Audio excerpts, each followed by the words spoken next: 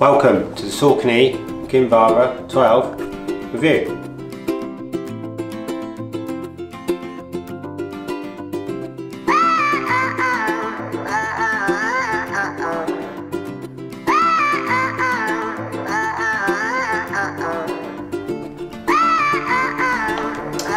So, gonna have a quick look. I've just got these new Saucony, Saucony, Saucony, Saucony, however you want to say it. I think it's Saucony, Kinvara 12s. So I've just got these. I'm just going to do, it's going to be a really quick uh, overview. So all the things that I would like to hear about.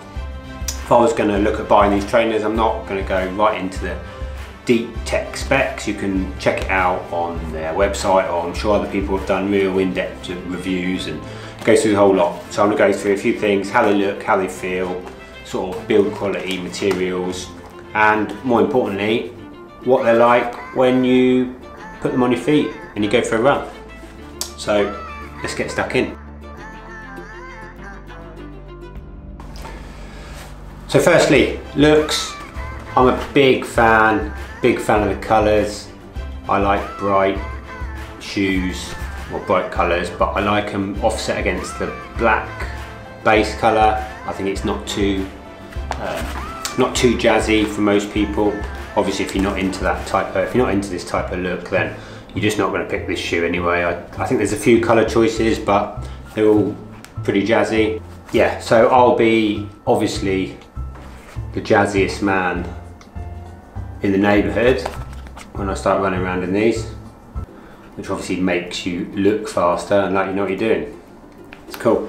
So feel, feel and quality of them, they feel really nice.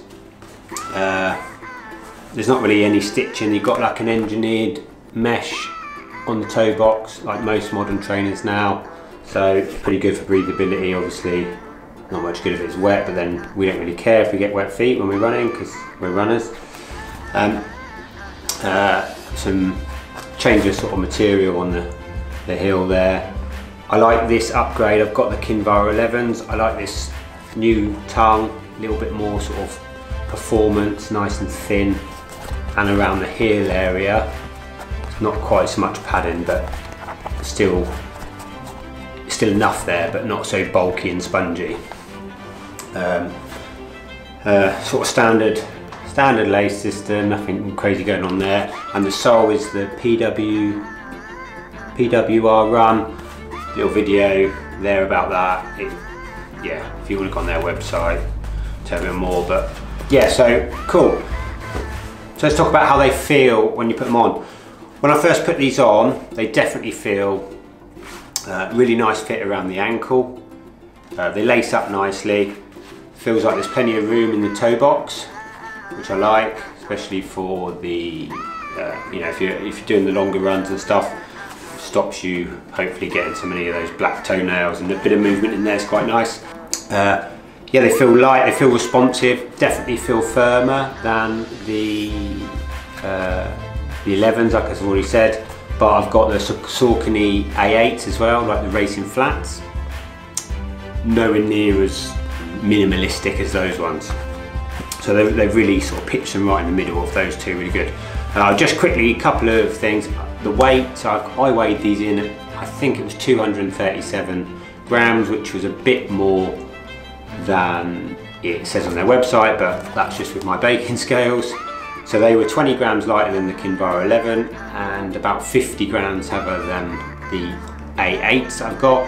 And I think it put them in about 20 grams heavier than my Vaporflies. So they're pretty light shoe and these have got a 4 mil 4 mil drop. Nice. So I've used these uh, shoes on only a couple of runs so it's hard to give a long impression of what they're like but I used them on a 10 mile 75 minute easy run absolutely no problem with comfort or ill fitting any problems with you know, shins, calves, knees, anything that you might get sometimes when you wear a new pair of trainers.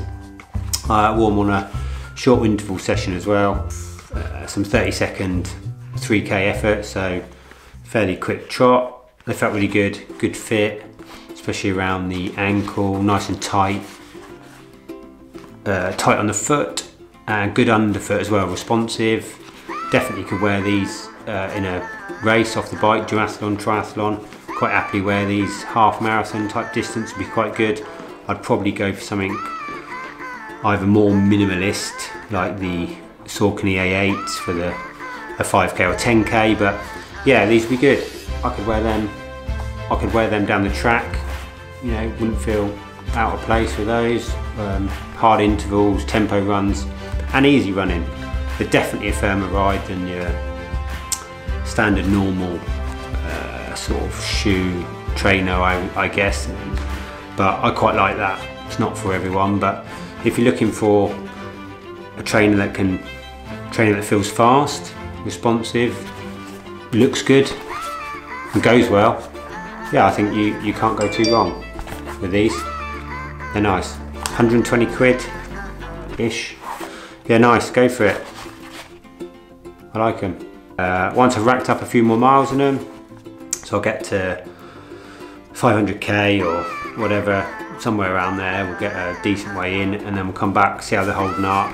So overall like them really good feel nice they look good obviously they're not cheap but you know a lot of shoes now uh, a similar price so uh, yeah if you're interested or have been looking at getting any Kinvara 12s I'd say go for it if you've had the 11s I think it's a good upgrade especially if you're looking something that's a bit uh, on the nippier side or a bit more, more responsive.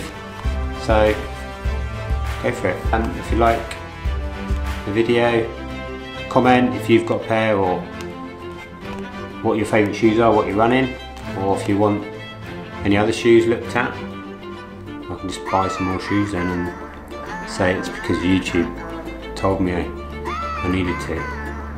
Right, thanks for watching. Catch you next time.